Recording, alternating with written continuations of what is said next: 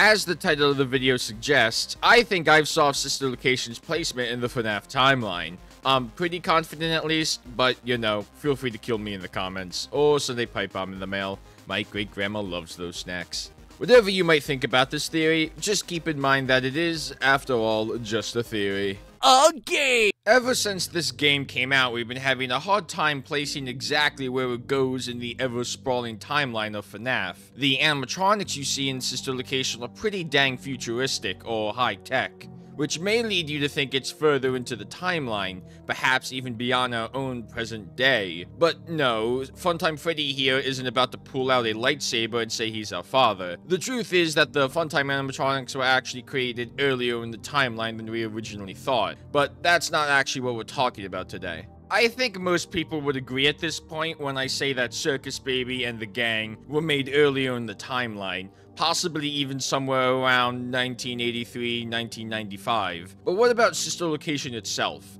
The game that you actually play where you see these animatronics trapped underground within some strange facility. A facility that, of course, belonged to the one and only William Afton.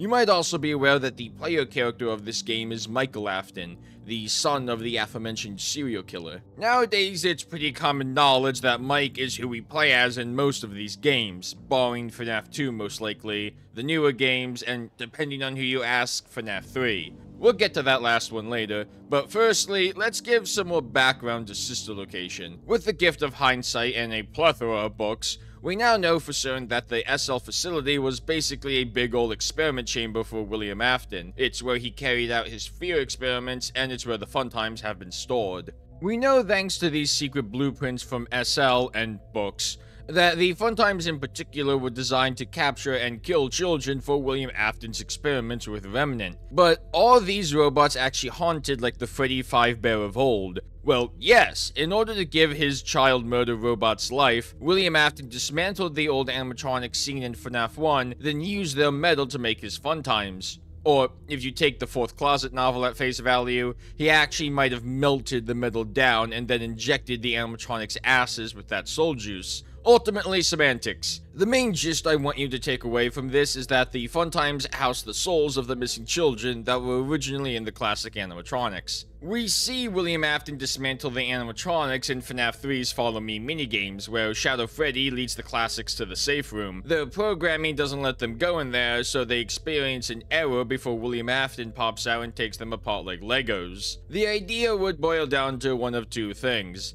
A. William takes apart an animatronic at night over the course of about a week, brings the metallic remains back to his Faz bunker, then he uses the metal for the fun times. Or B. He does it all in one night pretty inefficiently by taking one apart, then taking that one back to his Faz bunker, then going back for another. Once again, it is semantics because either way you get the same idea, that being Molten MCI. The Molten refers to Molten Freddy, who we also know as Ennard. The MCI part of that refers to the missing children's incident that you see pop up a lot across FNAF's entire story. But Doc, what does this all have to do with Sister Location's placement in the timeline? Well, let me break it down for you. We know from FNAF 1 and FNAF 3 that by the end of 1993, Freddy's closed its doors. 30 years later, Fazbear's Fright opens, but between FNAF 1 and FNAF 3 is when those Follow Me minigames I mentioned happened. You can clearly see in those scenes that the building is in heavy disrepair. Sister Location can't take place before FNAF 1 because duh, we see the FNAF 1 animatronics in that game. But I know what you're thinking. Doc, couldn't the company have just repaired the animatronics after William dismantled them? After all, those nasty buttons we see on the Wizards are on the classics. It's a fair point. For a while, I thought that was odd too. However, here's a question for you. If the FNAF 1 animatronics were repaired after Follow Me, why don't we see them in FNAF 3? We see their casings and costumes around the horror attraction, but their endoskeletons are completely gone. Why would the endoskeletons be missing unless the metal had already been taken by the time the Fazbear Fright crew started searching for old memorabilia? Mind you, the people who put this attraction together have taken an assortment of other decor from Fazbear's past. We see an assortment of drawings, posters, masks, and arcade machines littering FNAF 3. Considering how eager and excited Phone Dude is to have found a real one when they do find Springtrap, Why wouldn't they have used the actual classics? Even if you want to say that the classics would have been in bad condition by the time of FNAF 3, they would still have the endoskeletons. Yet, clearly they don't. But maybe that didn't sell you completely. That's alright, I have more up my sleeve that might convince you. For the moment, let's get back to Sister Location. We learned from Sister Location's custom night ending that William asked Michael to go there, and that the animatronics didn't recognize him at first. The word choice is important there. As a matter of fact, here's the full line. They were all there. They didn't recognize me at first, but then they thought I was you. First thing to point out is that he says they, referring to the spirits within the machines. Like I mentioned before, he says they didn't recognize him at first, and that they thought Michael was his father. The interesting notion here is that although they didn't know who Michael was at the start, they eventually came to the incorrect conclusion that this man was their killer. The general idea I'm trying to get at here is that Michael knows that these robots hold souls inside of them, hence why he says they were all there, because these machines hold the souls of William Afton's victims, the ones that previously haunted the animatronics Mike fended off in FNAF 1. The other thing to point out is that William asked Michael to go down there. Specifically, he asked Michael to put his sister back together, words that are undoubtedly familiar if you played or know anything about FNAF 4. I did it. I found it. It was right where you said it would be. And I found her. I put her back together. Just like you asked me to. But here's the issue. How would William have asked Michael to go to sister location if he was already dead? Remember when I said that in the Follow Me minigames, Afton breaks the animatronics for the Remnant? Well, on his fifth visit to the defunct pizzeria, the souls of Afton's victims appear and block his way. One of the spirits chase Afton into the Spring Bonnie costume, and you know the rest. Whether or not you think Follow Me happens in one night or over the course of a week, it's here that Afton becomes trapped in his iconic Springlock suit. The safe room eventually gets boarded up again, and he's left to rot there for a fair few years. Afton would not physically be able to tell Mike to go down to sister location, so, what are the alternatives? Others have suggested that William might have left some sort of message for Michael, something like a note or voice recording in case William ever disappeared for a lengthened period. The issue with this is that we have next to no evidence to actually support that idea. We only know that, in some form, William asked Michael to do this and told him some details about his task. So, how did William tell Michael to go to sister location? Well, although they might be father and son, we don't often see them in the same room but we have seen them together. We know for near fact that we play as Mike in FFPS, and that game features Scraptrap of course. But as you might have guessed, FFPS takes place after Sister Location for obvious reasons. I'm about to turn a chunk of people off, but there is another candidate for when Michael and William would have seen each other. FNAF 3. FNAF 3 is theorized to take place in the same year as FFPS. In that game, you play as the Night Guard at the soon-to-be-open Fazbear's Fright horror attraction. Upon the second night, Springtrap is brought into the building, and fast forward to the end of the game, the place burns down. Possibly due to faulty wiring, or maybe even foul play.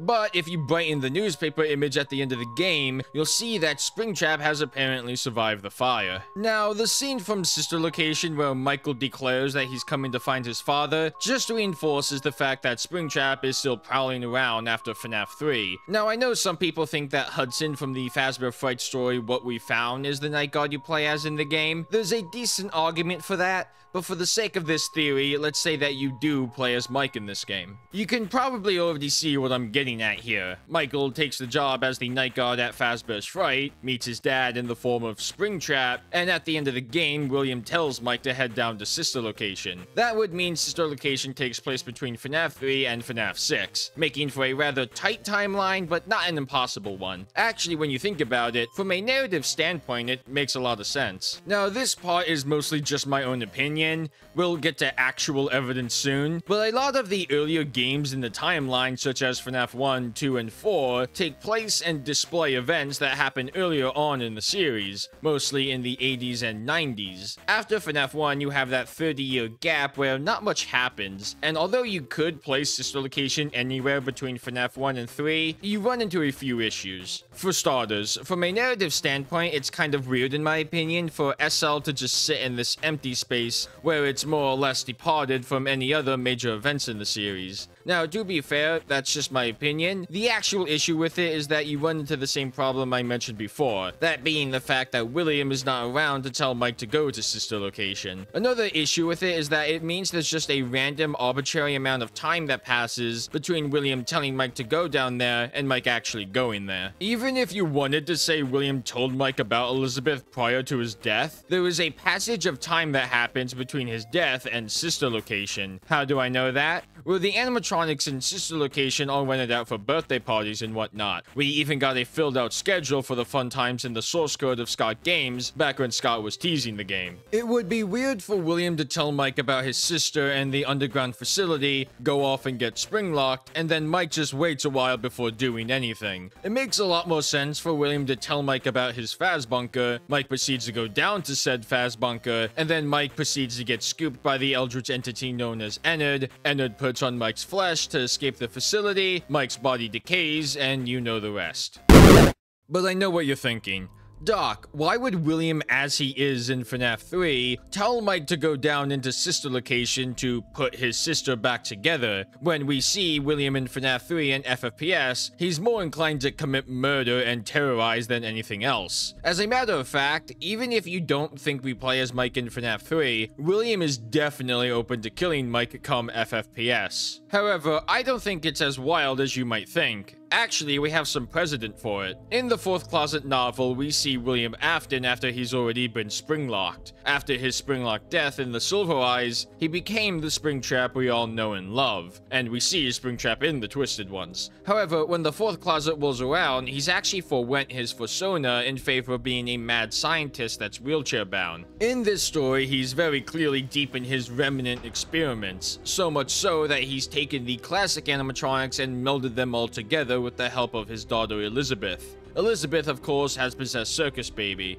Or, well, technically she's possessed a Charlie bot that was turned into Circus Baby by Afton. It's a whole thing that's weird. Don't worry, that part isn't important. The important part here is that this is a post-Springtrap Afton doing remnant experiments with a loyal Circus Baby by his side. Heck, even the state of the classics being combined into this deformed metallic creature is reminiscent of Ennard. Actually, it's basically what happens in Sister Location, only here it's more directly Afton's fault. But hey, can you remind me of what Afton says in FFPS? Fascinating.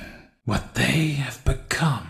Even as Springtrap often expresses a scientific curiosity in his creations, something that we clearly see throughout the fourth closet. But also note the use of they again. Now you could just chalk it up to him referring to all of the other characters in FFPS, which is definitely a valid interpretation, but what if he was referring to Molten Freddy in particular? That might sound odd at first, but remember that it wouldn't be the first time he's expressed a particular interest in his victims from a scientific perspective. Also, he isn't the only one. In one of the blueprints from FFPS, we see that Molten Freddy has the most accumulated remnant, making it a necessary element of paragraph 4. Granted, that blueprint actually goes unused in the final game, but what it entails lines up pretty well with everything else. Now, I know that was a lot of background information all for the sake of justification. To sum it up, I think the reason William Afton would have sent Michael down to sister location after FNAF 3 is purely for his own selfish needs. Even though though he's already dead and watching around as a decayed furry, he's still interested in the work he was doing all those years ago. I don't think he has any desire to free Elizabeth slash Circus Baby because it's his daughter. I think it's either A, he knows she'd be a good and faithful tool for him as we see in the fourth closet and even FFPS, or B, he's interested in her existence the same way he is about the others. He wants to harness the supernatural for his own scientific gain. Mike, on the other hand, is a little less self-centered, so he'd most certainly be willing to help his sister out of the kindness of his heart. Actually, it's pretty fitting for his character. We'll get to that later, though. But here's another question you might be asking. But Doc, why wouldn't William just go down there himself? Why get Michael's help when clearly William would rather strangle the guy? Well, let me break it down for you. There's actually a few reasons that you could conjure, and most of them would be valid. The most notable reason I've seen when it comes to why William would have sent Mike down there is because he knows it would be dangerous to do himself. After all, most of these animatronics are out for revenge, and we saw what they did to Mike at the end of Sister Location. However, this doesn't make much sense either. Once again, you run into the problem of William dying basically immediately after having taken the metal from the classics. But there's actually more we can add on to that, and I think it answers another question about FNAF 3 and the idea of Molten MCI. One of the issues some people have with Molten MCI is the fact that William makes a fifth return to Freddy's after having dismantled the other animatronics. But why? Most people would say it's because he went back to dismantle Golden Freddy, but I don't think that makes much sense. Not only do we never see him take apart Golden Freddy like he did the others, but Golden Freddy also doesn't have an endoskeleton like the rest of the animatronics. The whole gist is that he's this paranormal empty suit that's ghostly in nature. What I think is more likely is that William returned to Freddy's to retrieve his Yellow Rabbit costume. Why? Because it allows him to influence and blend in with the others. You might be thinking of the Freddy head mechanic from FNAF 2, which basically tricks the other animatronics into thinking you are an animatronic, but we actually have some examples that are a little bit more effective. In the Silver Eyes novel, William is seen wearing his Spring Bonnie costume throughout it, prowling the halls of Freddy's while the other animatronics hunt down the main characters. Very much a sort of in the shadows type of attitude here, only showing himself when he's least expected and when it's most beneficial. But an even better example is in the FNAF movie.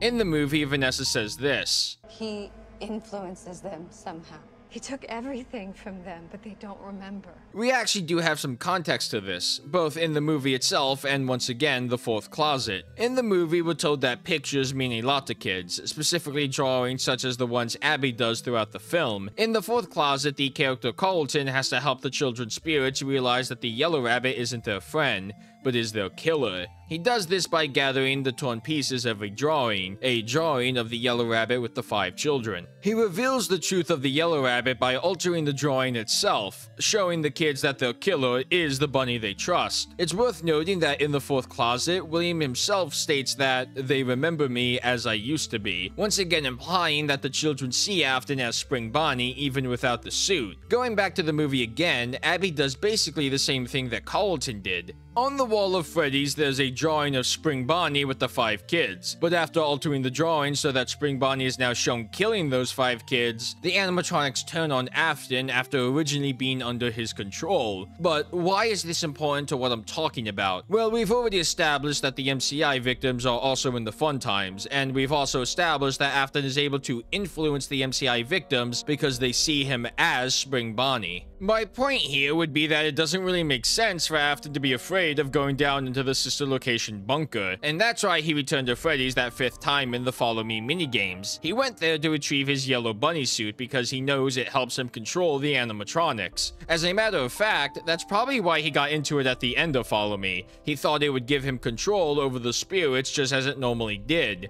Well, we know how that turned out. So why didn't he just go down there himself after FNAF 3? Well, he's a rotting bunny corpse guy. He can't just waltz into the building like he still owns the place. Although the fun times were created by Afton Robotics, in terms of corporate shenanigans, Afton's been out of the picture for a while. Keep in mind that Mike did have to apply to be a nighttime technician. He didn't just walk right on through the front doors and into the elevator. So, that was a lot of ground we just covered. Yes, I know, I could have just opened with the fact he's a rotting corpse in FNAF 3, but I thought the extra context was useful. But there's one more thing I want to discuss because I know there's a lot of different interpretations about it. That being the actual scene where we hear Michael Afton's speech in Sister Location. As Michael rambles on, we see the burnt down remains of Fazbear's Fright, and at the end of the scene, we see Springtrap pop out after Michael vows to find his father. Once again, there's some interesting things we should take note of. Firstly, Mike says that there is only one thing left for him to do now, that being to find William. This makes a lot of sense when you consider the fact that the very next game in the series has William Afton as an active threat again. However, if you believe that Michael is the FNAF 3 player and that sister location takes place before FNAF 3, well, that doesn't really make sense. As Mike says in the movie, That's two things. now yes, you could say that Michael found his father in FNAF 3, but something else vital happens in FNAF 3, and that's Happiest Day. Now, I know that's a big claim. I'm not going to get into it here, but if you want my take on Happiest Day, I recommend watching this video that I did a little while ago. I go in depth about the Crying Child and whatnot there, but for the time being, just trust me when I say Happiest Day is specifically for the Crying Child. Sound good? Thanks. I think it's definitely possible that Michael took the gig in order to help his younger brother out, and it's just a coincidence that he also came across his dad there as well. Michael helps achieve Happiest Day, the place burns down, and William sends Michael off to sister location. Or alternatively, the place burning down could have happened after that last part. If you think Michael having anything to do with Happiest Day is odd, think about Mike's character. A lot of people mistake Mike as the hero of the story when that isn't necessarily true. In every game we play as Mike, it's because he has some sort of goal in mind, usually something to do with helping his siblings. In FNAF 1, he works there after being called there through his dreams, i.e. the dream sequences from FNAF 2. FNAF 4's gameplay takes place after FNAF 1, with Shadow Freddy following Mike home and presumably causing the nightmares Mike has. Sister Location is about Mike helping his sister Elizabeth, and FNAF 6 is Mike finding his father to presumably get revenge or put an end to Afton's reign of terror once and for all. Mike is clearly aware that the animatronics are haunted, but he does little with that information. You see this in the movie too with Mike and Abby. Even after Mike finds out that the robots are haunted, he's only interested in saving Abby, not setting their souls free. However, by helping the crying child and Elizabeth, Michael is also helping the other spirits by proxy.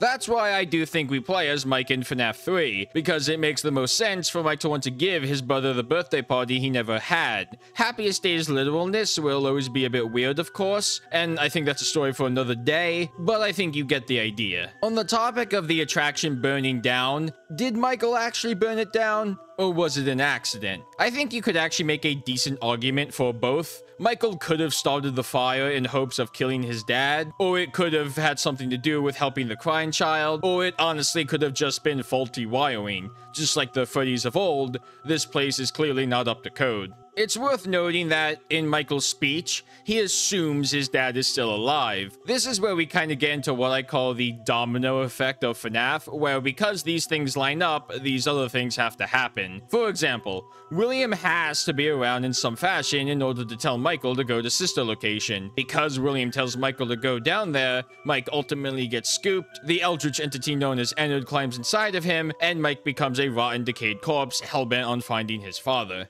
However, William cannot have told Michael to go down to sister location after FNAF 1 nor before it, but we know that William dismantled the animatronics after FNAF 1, but that he also got springlocked at the end of Follow Me, meaning that he still couldn't have talked to Michael. For many years, Mike lives without his father. He doesn't know if William is still alive or dead. He doesn't have a reason yet to want to find his father. Yet, by the time Michael has this monologue, he has been in contact with William and he knows that William is still alive alive, something he could not have known prior to FNAF 3 because Afton was rotting in FNAF 1's safe room for however many years you think he was stuck there. Do you understand what I'm getting at? Basically, I'm reiterating my point. I think that FNAF sister location takes place in 2023, after FNAF 3, but before Freddy Fazbear's Pizza Simulator. I think you play as Mike in FNAF 3, and that it's after that game that William instructs Michael to go down to sister location, where his sister resides in Afton's old underground research facility.